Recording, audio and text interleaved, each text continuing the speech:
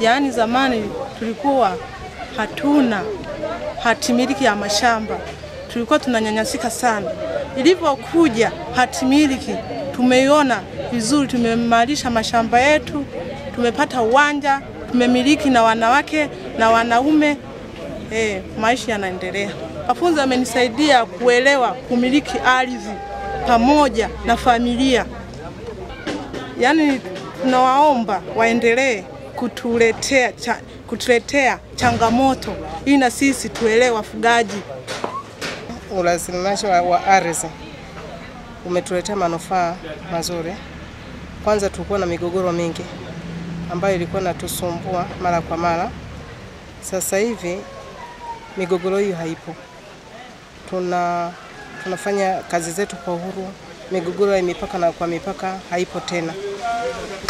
Kwa kweli tungeomba tu serikali izidi kutusaidia au watoa elimu wazidi kutuletea haya mafunzo, ni kwa haya makundi ya, ya, ya, ya wafugaji.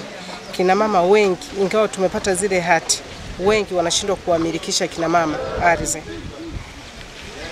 Madhara yapo kwa sababu ukikuta ardhi ikiwa imemilikiwa na baba, mara nyingi maamuzi yote anayotaka kuyafanya anaweza kayafanya baba pasipo kumshirikisha mama. Lakini sasa hivi tumeshajua ule umilikishwaji, hata mwanamke pia anastahili kumiliki ardhi ya kuhakikisha kwamba miundombinu stahili kwa ajili ya wafugaji na mifugo yao yamewekwa ndani ya maeneo hayo. Kwa hiyo changamoto kubwa tulionayo ni kwamba yamebainishwa, lakini mengine yamewekewa alama ya mipaka na mengine hayajawekewa, jambo ambalo linaweza kusababisha maeneo hayo kuvamiwa na watumiaji wengine wa ardhi.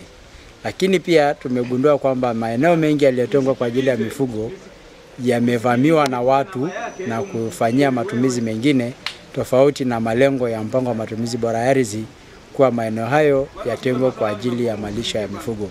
Watu wanayalima na watu wanayajenga na kufanya shughuli zingine za ardhi na shughuli zingine za maendeleo ndani ya maeneo hayo, na hivyo kusababisha ukosefu wa malisho na jambo ambalo linasababisha wafugaji na wakulima na watumiaji wengine wa ardhi kuwa na migogoro ya sio ya lazima. Lakini pia tumegundua kwamba maeneo mengi yaliyotengwa kwa ajili ya wafugaji ni maeneo ya pembezoni mwa hifadhi na maeneo ambayo yamekuwa na migogoro, hasa migogoro ya kimpaka. Lakini tumegundua kwamba maeneo hayo ya wafugaji ni kama yametelekezwa, kwa sababu serikali za vijiji hazifahamu majukumu yao, kwamba wao ndio wathamini kwa mujibu wa sheria ya ardhi ya vijiji namba tano wao ndio wanathamini maeneo hayo kukaliwa na kutumiwa na watu, hivyo wanathamini hata ukaaji wa wafugaji ndani ya maeneo hayo. Kwa hiyo wanaachua wafugaji ambao wenyewe uelewa wao ni mdogo katika usimamizi wa masuala ya ardhi, jambo ambalo maeneo hayo yanakosa ulinzi wa kisheria na yanakosa usimamizi mzuri kama ambavyo sheria inataka.